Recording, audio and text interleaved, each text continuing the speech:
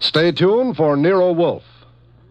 If the chimes shudder a little on Sunday afternoon, well, they know there's mystery in store Sunday with men of action like Mike Waring, better known as the Falcon, who brings his fearless and romantic touch to the solution of another mystery. After the Falcon, it's high adventure. Then the big guy steps in. The new private eye Charlie Wilde concludes with a few casual homicides. The chimes mean mystery and action this Sunday afternoon on NBC. Transcribed. My boss is the smartest and the stubbornest, the fattest and the laziest, the cleverest and the craziest, the most extravagant detective in the world, Nero Wolfe.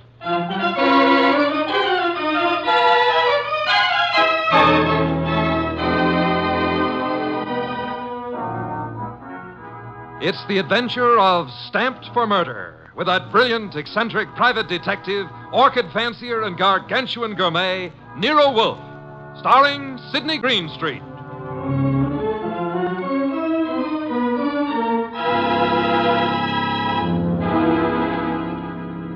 Instructions for this morning, Archie. Your notebook, please. First, Mr. Salinsbeck. Inform him that the Long Island peafowl he sent were most unsatisfactory. Peafowl's breast flesh is not sweet and tender unless it is well protected from all alarms, especially from the air, to prevent nervousness. Long Island is full of airplanes. Look, Mr. Wolfe, I, shall uh, want a dozen chickens that have been raised on blueberries and a fresh killed lamb for tomorrow. Uh, Mr. Wolfe, please listen. There's. Uh, Mr. Goodwin, be quiet, and then dinner on the following day becomes a problem. Mr. Wolfe, dinner any day is going to be a problem if we don't pay Sausenbach's bill. Then pay it. With what? The bank account's empty. Ridiculous. There were $4,000 yesterday. But you bought that shipment of orchid bulbs from Weinold Gluckner. Mr. Wolfe, we need money. You've got to stop eating and drinking beer long enough to earn some. Phew, You're an alarmist. Will you, for the love of heaven, stop turning down clients and turn an honest dollar? I've got a couple of prospects right outside the door. Send them away. No, sir. Send them away. Tell them I've gone to Egypt. Nothing doing, sir. Confound you, Archie. Obey orders. Send them away. Miss Kent, Mr. Rodman, come in, please. Thank you. Thank you. Confound you, Archie. You're mutinous. Yes, sir, and you're stuck with it. This is Miss Gloria Kent and Mr. Rodman. They arrived as advertised with a pressing problem. Good morning. You people are here by sufferance only. I shall speak to Mr. Goodwin about it later. Yes, indeed. I don't like pressing problems, Miss Kent. What are yours? My father. Indeed, I'm not a court of domestic relations, Miss Kent. What did your father do? Beat you? Withhold your earnings? Discourage your suitors? Mr. Goodwin should have informed you this office does not undertake cases involving marital or family problems. But that's not. If Mr. Goodwin had not been beguiled by your pretty face, he might have warned you and avoided this embarrassment to you and annoyance to me. Now, now, now, now, take it easy, take it easy. How many times have I told you you don't know how to handle women? Then suppose you let Miss Kent handle me. Well, it's simply this, Mr. Wolfe. I had some money my mother left me. My father's just spent it without my permission. I want it back without a scandal. Thanks, Miss Kent. How much? How spent? Ten thousand dollars. Father bought a treasure map. Indeed, from whom? A pair of swindlers named Cross and Halleck. They've driven him crazy, talking about fortune salvaged from the SS this and the SS that. He, he's got a map and old letters he studies. He, he's childish. Many fortunes have been recovered. Many more await on the sea bottom. How do you know your father has been duped? Well, I know. You do, Mr. Rodman. Yes. Cross and Halleck bought some old letters from me, written by my grandfather from Hawaii. They used them to manufacture the map and evidence. And that's what they sold to Kent. Father thought he was being so clever. He had the paper analyzed. Of course, the document research laboratory said the letters were genuine. They were. But something new had been added. I'd have never known if Mr. Rodman hadn't told me. You're a party to the swindle, Mr. Rodman? I was not. I never knew what they were up to. Mr. Wolfe, you've got to help me. I, I can't do anything with Father. I can't convince him. Even Mr. Rodman can't. No, Miss Kent, I'm sorry. This is not for me. Ah, but you must. You must. Not I... in my office, madam. No tears. Please, please, Archie, stop her. Okay, okay, okay. Archie, when Miss Kent has finished her disgraceful exhibition, show them out. How dare he? Walk out on us like Easy, easy, easy. I know him, I know him. You don't. He gets into a panic when women cry, or else he's curious about what Fritz is cooking for lunch. Now, just uh, wait a minute, please. Oh, aren't you ashamed of yourself walking out like that on that poor kid? That hysterical gamma. She's lost all of her money. She needs help. I charge high fees, Archie. So charge a small fee. Do you want her to starve? Good heavens. Starve? How monstrous. I'm not kidding. While you'll be in here smelling your dinner, she and her father will be starving. I thought you were bringing me a paying client. Well, this is different. She's, uh... Beautiful. Archie, you're impossible. Oh, very well. Go back into them. Get names, addresses, facts. I am not committed to Miss Kent's case, but we'll see.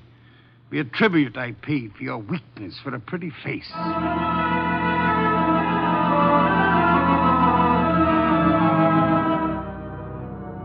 Rodman and Gloria Kent were gone, however. So all I had were the few facts they'd given me before they met Wolfe. I felt guilty about that when he came back into the office and sat down in his specially built chair. He closed his eyes, and I glared at him. Well, how much of you is awake? Mr. Wolfe. Ah, Well, they disappeared. Did you tell me you were going to help this girl just to get her out of the office, or did you mean it? you're a gadfly. No, sir. No, sir. You made a promise, and you're stuck with it. What did you get from Rodman? Name, address, occupation. He's a librarian, that's all. Very careless, Archie. You missed a significant point. Such as. Uh... How did Rodman discover the letters he sold were being altered by forgery and used for swindle? How did he locate the dupe, Mr. Kent? Uh, I guess you're right. I'll ask him next time. But uh, what about now? Are you going to get Gloria's money back? I assume you call Miss Kent Gloria solely in order to annoy me. It does. Stop it. Get Cross and Halleck. On my way. You'll find them at the Hotel Bogart. Ah, wrong, sir. According to my notes, their address is. Never mind their address. The Hotel Bogart is the headquarters for successful, confident tricksters. They celebrate their victories there while the money lasts. You will possibly find Cross and Halleck drinking whiskey or lunching, probably both.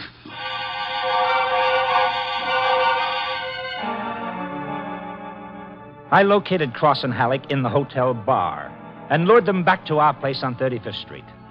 Wolfe was sitting behind his desk with his hands crossed on his impressive middle, at peace with his lunch and the world when I ushered them in. He sat bolt upright and scorched me with a look. Good afternoon, Mr. Wolfe. The tall one's name is Cross, the short one is Halleck. They uh, want to help me invest my money. Gentlemen, Mr. Nero Wolfe. What? Who? Hero Wolfe. Hey, what is this? Confound you, Archie. How drunk are they? Not too drunk for business. Let's get out of here. Come on. Wait a Dirty minute. Shill duck decoy. You want me to keep him here, Mr. Wolfe? Not by violence, Archie. Come back here, gentlemen. Unless you want seven years in the state penitentiary. Well, this what? You got nothing on us, Wolfe. Nothing. I have the Kent case. The Kent? That's a laugh. We're sitting pretty, sitting pretty. You are not, sir. You imagine you possess legal immunity. Mr. Kent believes you are grotesque balderdash and will not sue for fraud. Miss Kent cannot sue because she is reluctant to accuse her father of wrongfully obtaining her money. Ergo, you think you are invulnerable. Now, listen. But you forget me. I'm a detective with a fee to earn. A big fee. Quiet, Archie. I am determined to get that fee. Therefore, as Miss Kent's agent, I can and will bring action against you. I'm indifferent to her tears or her father's disgrace. I'm indifferent to anything outside of money. You will return the $10,000 to me at once, sir, or you will be in jail by morning. You mean that? I do, Mr. Cross. Alec, Yeah. come here.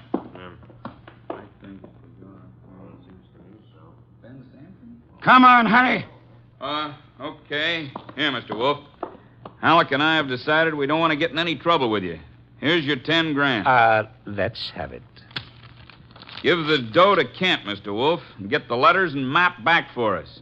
You've got a reputation for being tricky, but honest. We trust you. Come on, Alec, let's go. Yeah, well, well, how about that? Preposterous. No, sir. Take a look. $10,000, genuine coin of the realm. That man Cross is a fool. Does he imagine I'm to be fooled so easily? What do you mean he left the money? He surrendered too quickly, Archie. Too easily. And that money in the envelope he was carrying all ready to refund. Why? Well, maybe he's got a better sucker. I heard him mention a Ben Sanford. Nonsense. Does he need Kent's forged letters and map to cheat this Ben Sanford? Couldn't he prepare another set? Ah, I guess you're right. Something's fishy. In any event, it's no concern of mine, thank heaven. Uh, why not? I'm not committed to Miss Kent in any way. As a favor to you, I undertook to regain her money. I have done that. You may take it back to her and obtain the forged papers in return. But. Uh, Silence, Mr. Goodwin. Go to your redhead charmer. Leave me in peace. I intend to spend this afternoon with my New World Atlas.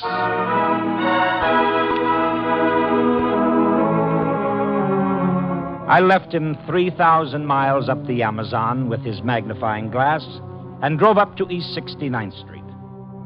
The Kent house was a broken down little brownstone, and as I went up the stoop, the door opened and Gloria Kent burst out like a skyrocket. Hey, Miss Kent, easy, easy. Let go of me. Let go. What's wrong? What's wrong? Wrong. Wrong. Nothing is wrong. Nothing at all. Well, how about seeing your father? You want to see my father? Come inside. Oh, for the love of heaven. Come what- inside, Mr. Goodwin. I'll introduce you. He's in a back room. Come right through the living room. What else came through this living room? A hurricane? No, Mr. Goodwin. Something else. There's my father, Mr. Goodwin. What in the devil? He's dead. His throat's cut. Father, this is Archie Goodwin from Nero Wolfe's office. He and his boss refused to help while they could. Maybe he can help you now. Stop it. All I'm good for now is revenge. That's all. Stop it. Stop it and look at me. When did it happen? I don't know. When'd you find him? Just now. Keep looking at me. Who went through this house like a hurricane? You? No. Where did you go after you left the office? To the laboratory. What lab? Document research. The, the place that checked the map. How long were you there? Until an hour ago, I was with Mr. Rodman. Keep looking at me. Uh, and then I had lunch with Rodman? alone, and then I came home. All right. All right, now listen to me. I want you to go to Mr. Wolfe's house right now. Have you got cab fare? Yes? All right, take a cab. I've got to stay here, but I'll call Mr. Wolfe and tell him you're on the way. Now get.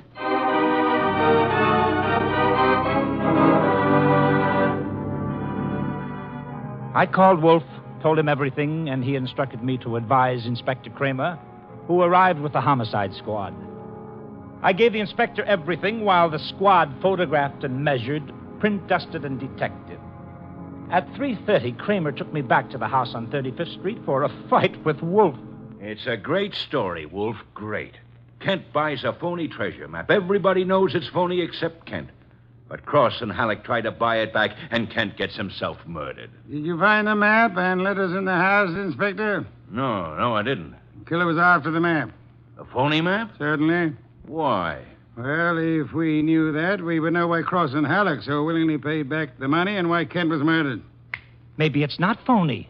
I'd better see the girl now. Oh, you fancy her for the murder? Well, I'll know after I ask a few questions. Tonight. She's had a shock, Mr. Cramer. She needs rest. Look, Wolfe, I want her. Why bother with her when there's so much to be done? Yes, such as? Cross and Halleck, find them. And the mystery man they spoke of, Ben Sanford. These are the men you want now, not this poor, overwrought girl. Yeah. All right. The girl will be here for questioning tonight, though, huh? Tonight, Mr. Cramer. Okay. You'll hear from me later on. well, you buffaloed him out of that, okay. Say, uh, why don't you want her questioned? Is she guilty? I don't know. Well, what did she say when she got here? She said nothing. She never arrived. She never what? She never arrived. Well, then why did you tell Cramer she was resting? Would he have believed the truth? she must be found. More important, we must learn why forged letters and forged map produces turmoil.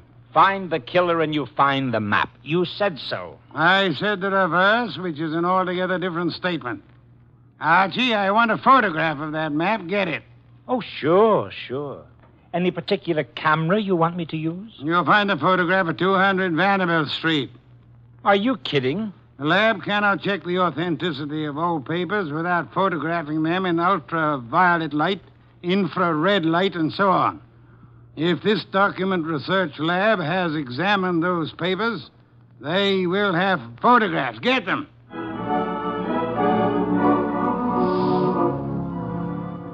He got out of his chair and waddled back to the house elevator. It was four o'clock and time for his regular afternoon session with the orchids. I drove down to the document research laboratory on Vanderbilt and got such a shock that I grabbed the office phone and dialed Wolfe at once.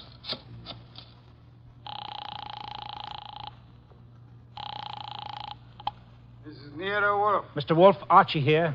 What's the matter? You lost? No, sir. No, sir, but I found something. Photographs? No, Mr. Wolfe, I don't think you'll ever see any photographs of the Kent map. I don't think any were taken. Indeed.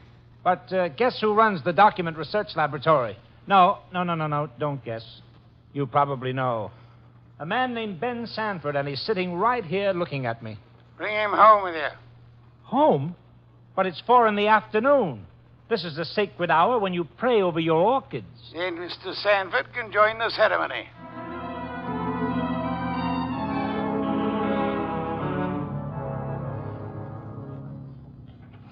Hey, how about this place? How about it? There must be a million flowers up here. no, not flowers. Orchids only. Mr. Wolfe has 10,000 plants. Never saw anything like it. And you never will again, brother. Hey, uh, what uh, what kind is that on the bench? Oh, that. That's our pride and joy. Odontoglossum harryanum. Above them, the Van Petersirana, and the pink ones are the Celogiani uh. Now, the large object, mulching flower pots, is Nero Wolfe. Mr. Wolfe, Ben Sanford. Good afternoon, sir. Hi. I came along to be obliging. I've got nothing to say about anything. How much have you offered Cross and Halleck for their treasure map? No comment. Mr. Sanford, I'm going to make some assumptions. I assume that you are not, in fact, a document expert, but an accessory to the fraud of Halleck and Cross. No comment. That you actually prepare fraudulent maps for those swindlers, and then, in the guise of an expert, guarantee their authenticity. No comment. But this you must answer. You did guarantee the authenticity of the map and letters Kent bought. It's on record. All right, I did. Then will you admit they were forged? What are you, a comic? No. You guarantee the value of the Kent map? Yes. As an expert? Yes. Then you've convicted yourself of murder. What? Murder? What is this? Mr. Kent was murdered, sir. Evidently for the map and letters he bought. But of all persons involved, you alone believe in the value of the map. No one else does. Therefore, you alone would have murdered Kent for the map. Oh, for the love of. Now, wait a minute. Wait a minute. chew it over, brother. Chew it over. Either way, he's got you. Okay. Okay, you. You want me to level? Here it is. Level, Archie. Okay, boss. Thief type talk. It means tell the truth. It's like you say. The letters were bought from Rodman. I forged the map and evidence onto them. I guaranteed them to Kent. It was a swindle. The letters are without value? Oh, sure, they're old, that's all, from 1851. Just tired family gossip and stuff. Indeed. There we have the problem again, Archie. Mr. Kent is swindled with a map and letters that are known to be worthless. He alone believes the fantasy of the treasure. There isn't any treasure, never was. Yet Cross and Halleck refunded the swindle money so eagerly. It is obvious they want those worthless documents back badly. Someone else wants them so bad he murders Mr. Kent. Why? I don't know. Archie, we must find the girl. There's a chance she turned to Mr. Rodman for refuge. I'm sorry you'll have to go there at once. If the girl isn't there, bring Rodman.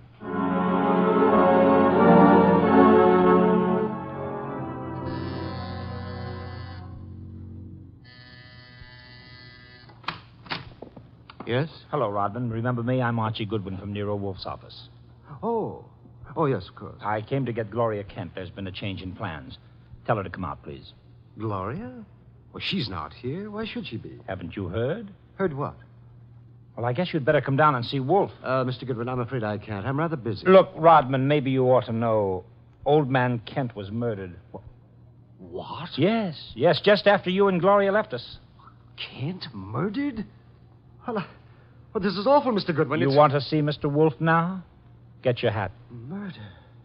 Well, believe me, I never wanted this. I, I'm going to tell Nero Wolfe the whole mess. Every word of it. Okay, then. Come on, let's go. Yes, of course. Just a minute. I'll get my hat in the bedroom. Murdered? Kent? I never dreamed. Oh. Come on, Rodman. Come on, Rodman. Come on. What? I didn't hear you. Oh, Rodman. What the... Ah! Rodman. Oh, Rodman. Good Lord. What next? Come on, come on. This is Nero Wolfe. Archie here. We've had a tough break. Yes? While I was waiting for Rodman at the front door, he went into the bedroom for his hat. The killer was there. How do you know? He cut Rodman's throat. The back window was open. It's a ground floor apartment. He was out and gone before I had a chance. Archie, where were your wits? Let me alone. I've had a man murdered 20 feet from me. You think I'm cheering? Mr. Cramer is here, and he has news for us, Archie. He could not locate Cross and Halleck in their apartment. They had not been home all day. The maid informed him that she was waiting for her weekly salary. Well, so what? She was most angry and peppery. Mr. Cramer informs me. Red pepper? Exactly. Okay. Okay, maybe I know what you mean. I'll try to deliver the goods this time. Goodbye.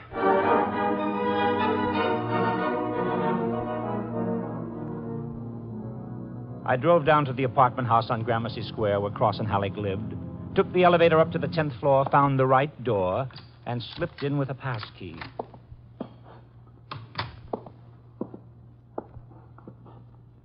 Come on out. Come out wherever you are. I know you're in here. You fooled Cramer pretending to be the maid, but you didn't fool Wolfe. You'd better. Gloria! Cut it out! Cut it out, you idiot! Lay off! It's Archie. Archie, you dope. Archie Goodwin from Nero Wolfe's office. Remember me? Let go. Give me the gun, Gloria. Give it to me. Ah, that's right. Who, uh, who did you think I was? Halleck. Oh, brilliant. So Wolfe figured you out, huh? Well, you are a brave girl. They killed your father. You came up here and waited for them. You were going to kill them right back, huh? Oh, that red-headed temper. And you bluffed Cramer into thinking you were the maid. I had to do something. It was the only thing I could think of. To come here and kill him. Well, you're coming home with Archie. And just remember one thing. When Wolfe's working for you, don't try to do any thinking. It only gets in Wolfe's way.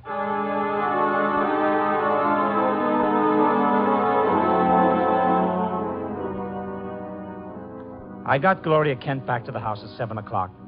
I parked the car, brought her into the office, and got the shock of my life. There was a convention on. Wolfe was there, with Inspector Cramer representing the cops.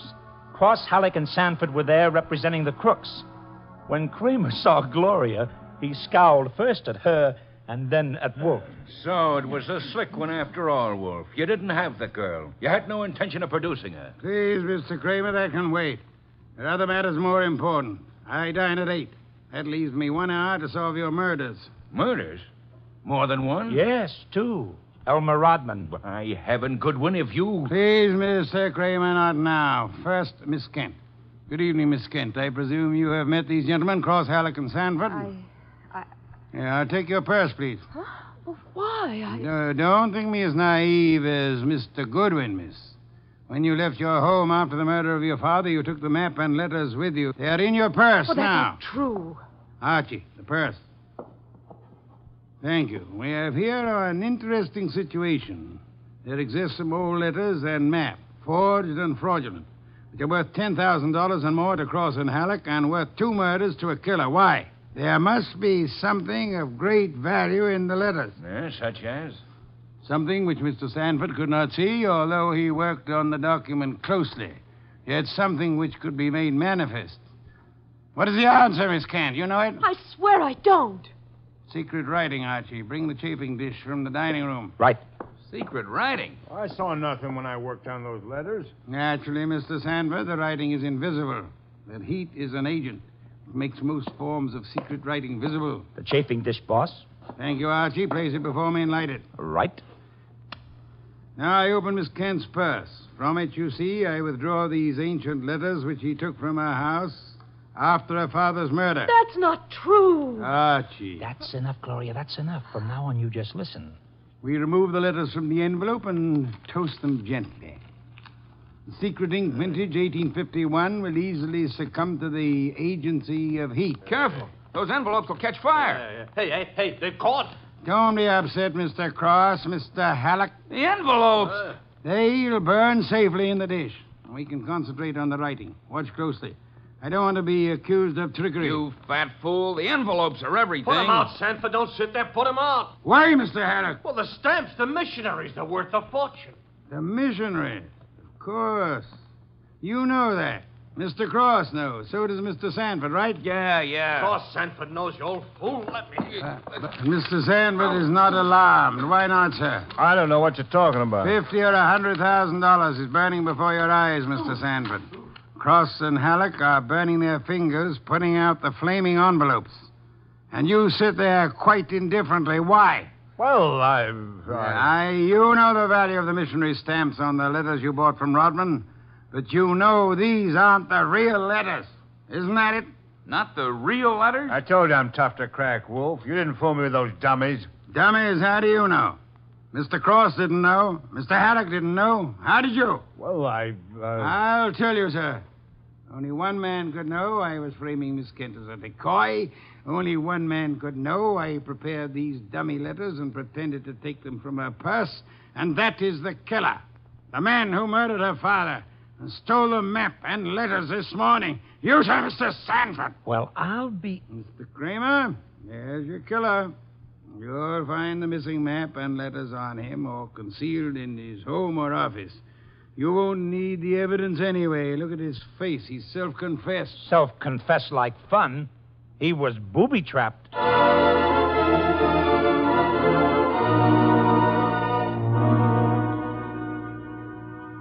No, Mr. Cramer.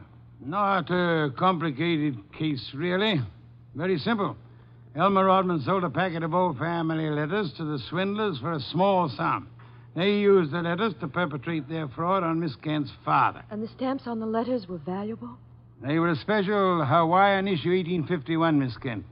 Nicknamed missionaries because missionaries use them for writing home. They are extremely rare stamps worth upward of $25,000 each. Hey, no wonder they were worth two murders. We found five of them on Sanford. Excellent. Some way or other, Rodman discovered the value of the stamps after he sold the letters. In his effort to get them back, he communicated his discovery to the swindlers, Cross, Halleck, and Sanford. So that's why they refunded the money so fast. Precisely, in an effort to have the sale rescinded. Rodman sought out Kent and tried to convince him of the fraud. Alas, he would not listen to the truth, Mr. Cramer. Oh, I get it. And while the others were hassling around, Sanford tried to steal a march and quietly resorted to murder. And there you have it. Ha ha! Great job, boss. Great job.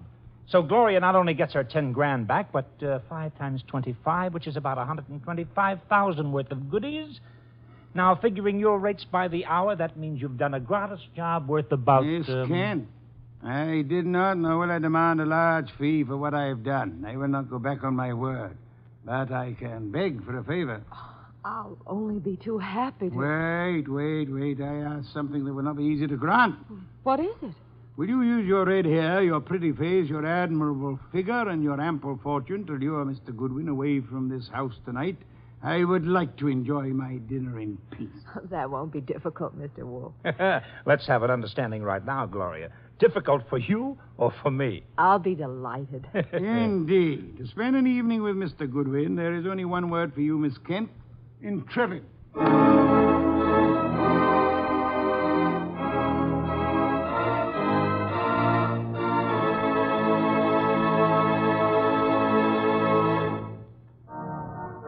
Have been listening to The New Adventures of Nero Wolfe, starring Sydney Greenstreet. Tonight's story by Alfred Bester was based on the famous characters created by Rex Stout, produced by Edwin Fadiman, and directed by J. Donald Wilson. In the cast were Wally Maher as Archie Goodwin, and Gene Bates, Howard McNear, Jay Novello, Larry Dobkin, Bill Johnstone, and Herb Vigran. Music by Joseph Enos. Next week at this same time, Nero Wolfe and Archie will bring you The Case of the Careworn Cup. Don Stanley speaking. The preceding was transcribed. Three chimes mean good times on NBC. The chimes ring for Dennis Day and Judy Canova tomorrow night on NBC. Also, Judy Canova prepares to go operatic tomorrow because her special guest is Ezio Pinza. This is Chester William Bendix Riley. The Man Called X follows on NBC.